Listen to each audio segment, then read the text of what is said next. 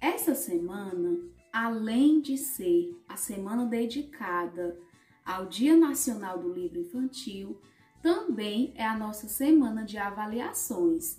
Então, nós teremos aula normal e também as nossas avaliações, que serão de língua portuguesa, de história e geografia.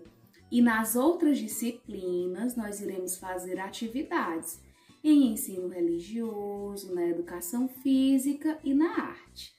Então, espero que assim a gente consiga ter um bom desempenho nas nossas atividades, nas provinhas também e que seja uma semana maravilhosa para todos nós.